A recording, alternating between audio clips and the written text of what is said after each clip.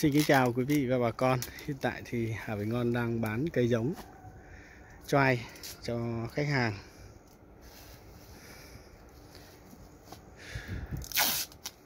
Đây là cây bưởi diễn Bưởi diễn này.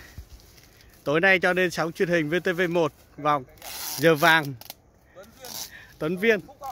Xã nào đấy? Hải xã Đông Xuyên, Phúc Thọ.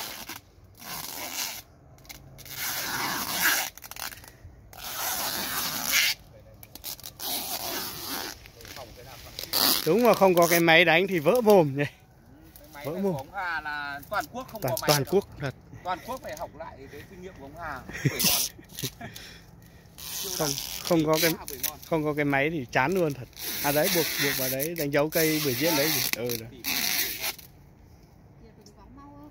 Quên. thôi nó ấy buộc vào gốc cũng được đánh dấu cứ người buộc về đánh dấu nhớ là được mà cây này về trồng à, giờ buổi tối nó có sương xong lại có mưa phùn mấy hôm nữa thì đẹp quá.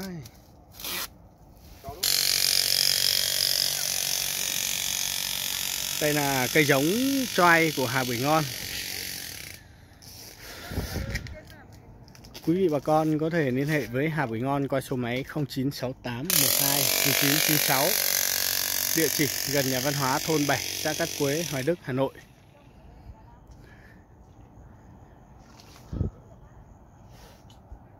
Cây của Hà Bưởi Ngon thì à, đã 2 năm rồi và cắt tỉa tạo tán nên rất là sung xuê và được đánh bằng máy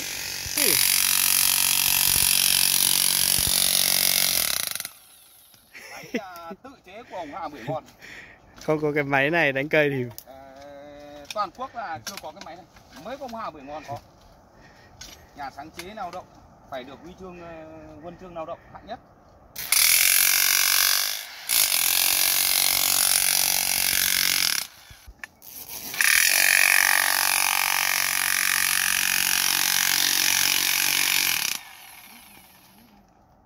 Đây mày đi đánh được Thôi đừng bẻ đừng có bẻ dầm. Bẻ thế là gãy đấy, rút thẳng dầm lên.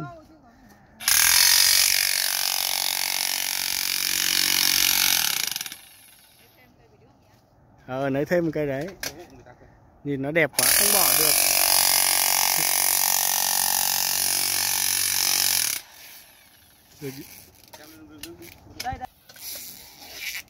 Kéo dứt điểm lên, xem nó còn sót cái rễ nào không Đánh nồng em em đánh vẫn đẹp hơn thợ đánh nó vẫn đẹp hơn mà cứ được cái chết. chết làm sao được mùa này anh cứ dụ hết rễ ra xong anh cắt khúc vào anh dơ như dao nang nó vẫn sống Hy vọng 5 năm sau là có lương không có gay quá. Cảnh nhà nông. nhà nông không có nương à, nương nương à, nhà nước thì phải có nương à, đồng ruộng mấy cây mà hôm qua bảo thằng con bảo xem có lấy không